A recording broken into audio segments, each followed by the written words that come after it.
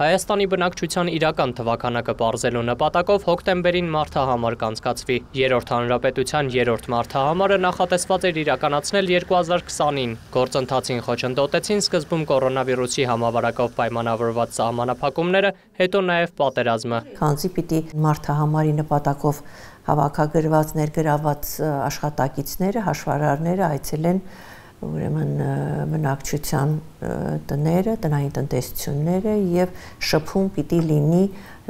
գրեթե մեր երկրի բնակչության 1/4-ի հետ։ Մարդահամարի անցկացման աշխատանքում ներգրավվել է մոտ 2200 հաշվարար։ Նրանք կայցելեն բնակչության պետական ռեգիստրում գրանցված յուրաքանչյուր 4-րդ քաղաքացու տուն։ Ի տարբերություն նախորդ մարդահամարների, այս անգամ բնակիչների տվյալները կհավաքագրվեն էլեկտրոնային սարքերի միջոցով։ 11 տարի առաջ օգտագործված թղթային հարցաշարը վիճակագրական կոմիտեում արդեն պատմական նմուշ է դարձել։ Սա մի տնային տնտեսության համար նախատեսված հարցաթերթ է եւ այստեղ յուրաքանչյուր տնային տնտեսության յուրաքանչյուր անդամի համար մի տողով է լրացվում, հետո տնային տնտեսության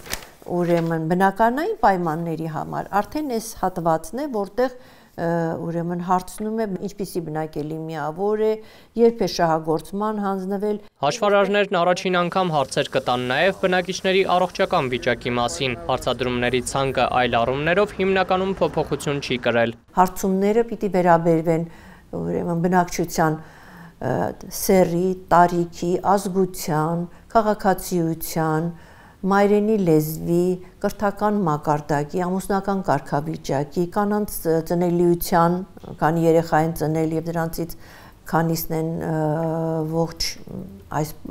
մարտահամարի հաշվառման պահին։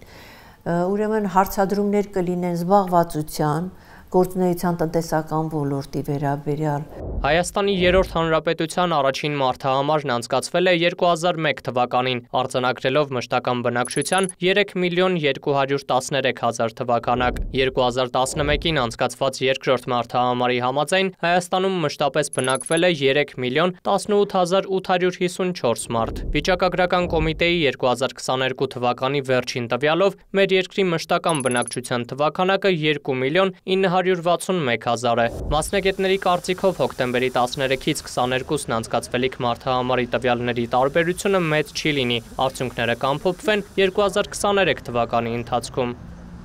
Նորայդ Շողիկյան, Էդմոնդ Հակոբյան, լուրեր